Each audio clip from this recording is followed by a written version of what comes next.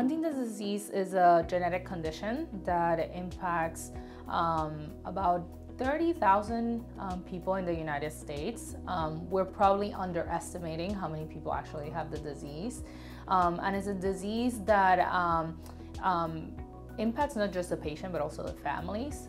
it presents with psychiatric symptoms, mood symptoms, behavioral changes, um, also some memory issues as well, um, and involuntary movements that are known as chorea. It's not a dementia like Alzheimer's disease, it's problems with multitasking, uh, executive function. So, you know, in a family, um, everybody who is affected might present with choreiform movements as their first, you know, the involuntary movements as their first sign of the disorder.